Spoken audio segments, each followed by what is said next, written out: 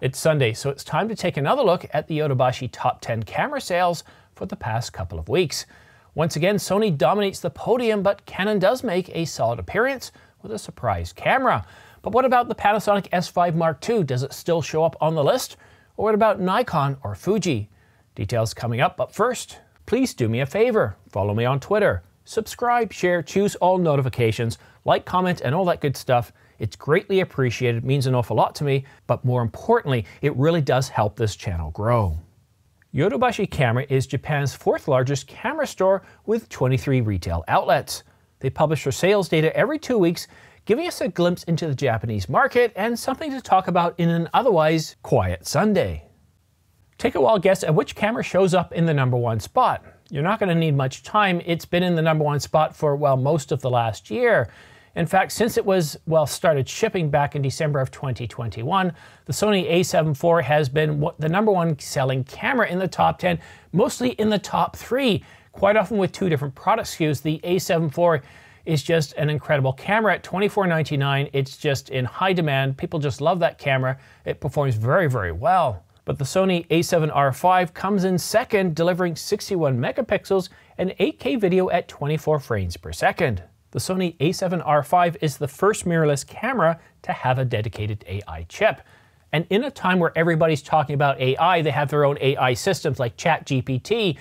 All the major technology companies are producing, well, AI products. It, it's in the race to be the first with the most capable AI system.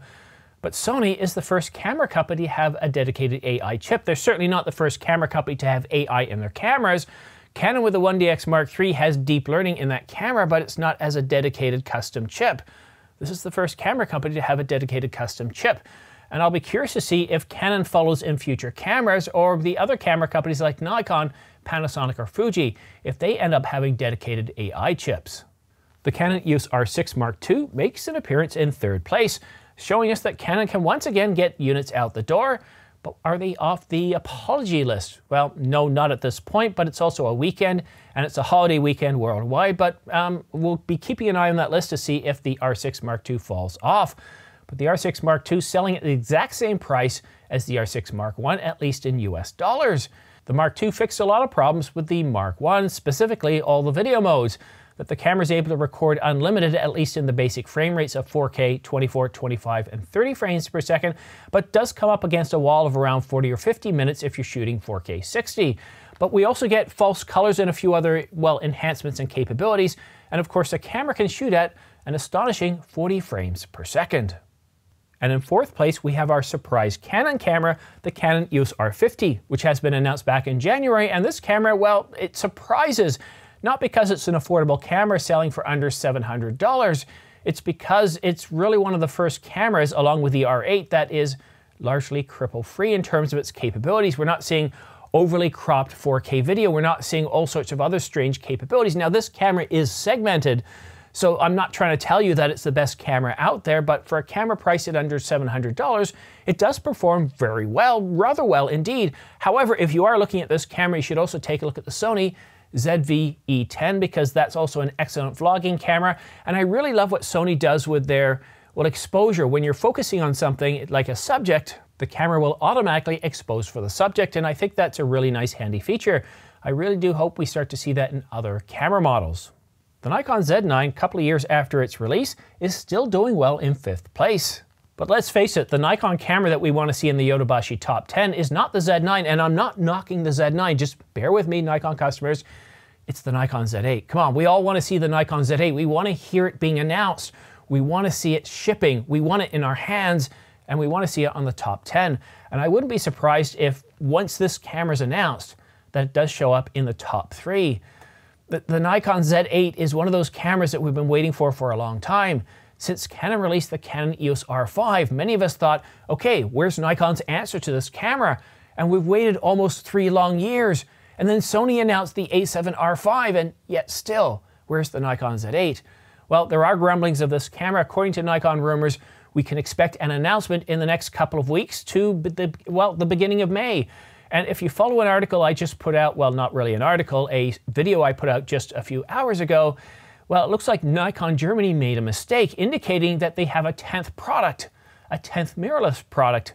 And that product's name, well, they don't shed any information on that. It's only Nikon Germany that had this mistake showing 10 products when there were only 9 products. So we all know them the Nikon Z9, the Z6 Mark 1 and 2, Z7 Mark 1 and 2, the Z50, the Z30, the ZFC.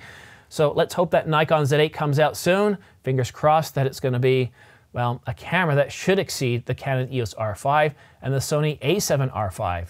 After all, well, Nikon's had three years to produce a better camera, and with Canon getting ready to release a successor to the R5 sometime later this year or early in 2024, Nikon needs to produce a better camera. Fujifilm makes an appearance in sixth place with the Fujifilm X-T5. This is a follow-up to the X-T4 with a 40 megapixel sensor, but you know, while I was excited about the X-T4, I'm not excited about the X-T5 because my focus is largely in video. And when it comes to video on the X-T5, well, the detail isn't quite there and the rolling shutter is pretty significant. But if you look at all the reviews, while they do concur with what I'm saying, when it comes to the still side of this camera, the X-T5 is absolutely a marvel. A 40 megapixel sensor, it's able to produce really good details, really good results. So if you have the X-T4 and you're a video shooter, I would stay with that. But if you're a still shooter, well then definitely consider the X-T5 as an upgrade. The Nikon ZFC with the 16 to 50 millimeter is Nikon's second camera in the top 10. And the eighth camera in the top 10 is Canon's EOS R10, announced back in May of 2022. It comes bundled with the 18 to 150 image stabilized STM. And the Fujifilm X-H10 makes an appearance in ninth place, with 10th place showing up as an APS-C camera, and it's our third Sony camera in the list, and that's the Sony a6400. Kind of makes us wonder when Sony's going to announce a new APS-C censored camera or an A60, well, an A6XXX or an A7XXX. Sony's got a bunch of cameras they're going to be releasing this year, and just a few months ago, they registered three cameras. And since then, we've only gotten one camera announcement, and that's the ZV. Well, that's a surprising camera. It's basically a ZV version of the Sony a7S III in the ZV E1. So we have two other cameras. Will one of them be the A9 Mark III? Could one of them be an A7XXX or an A6XXX? We'll just have to wait and see. But that concludes another Yodobashi Top 10 camera sales for the past two weeks. And I do get a lot of comments on these videos. Sometimes these videos do very well with over 60,000 views, and sometimes they just, well, crawl along at around 5,000 views. But one thing is always consistent with these videos. They're a snapshot of the Japanese market, of the fourth largest Japanese retailer, Yodobashi.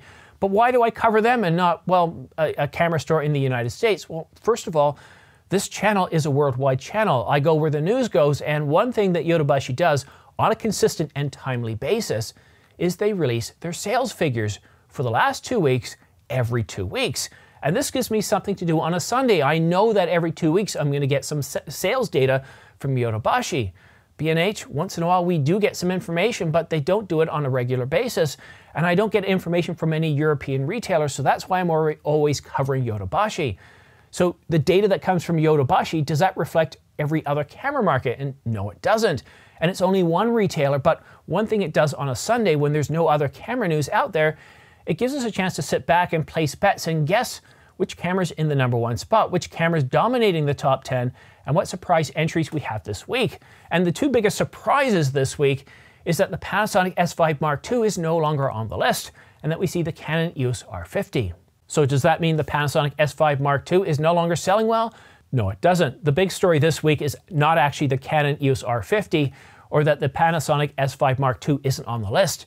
It's that camera manufacturers worldwide are still having problems getting enough units made and shipped out the door. We see Canon's apology list with several cameras and lenses on there, and though we're still in 2023, camera companies are still having trouble meeting the, the demand. And what's really surprising is that we're in, well, a shrinking market, and yet these camera companies still can't get enough cameras out to their customers. If we go back 10 years ago, well, there was a lot more cameras being produced some what 12 million a year 13 million a year compared to what we're seeing today and yet they can't get the cameras out the door. I never remember having to wait in line or wait in a queue online or otherwise to purchase a camera but since 2020 that seems to be the story. So that still needs to be fixed before we can get a true representation of what's selling well But that's it for now. If you want to stay up to date on all the latest camera news and rumors, don't forget to subscribe and choose all notifications. By choosing all notifications, as soon as I publish a new video like this one here, you'll get notified so that way you can stay up to date on all the latest camera news and rumors. Just make sure you check your junk and spam folder because a lot of times those messages come in there. And if you want to stay up to date on all the minor news and rumors, well, then don't forget to follow me on my Twitter channel using this address here for all those news stories that don't quite, well, they're not quite big enough to come up with their own separate video or to have their own separate video, I publish a tweet, and that can be as many as 10 a day. It just depends on, well, how much news is coming out for any given day. But that's it for now. Thank you so much for watching. Have yourself a great weekend, and we'll see you again soon.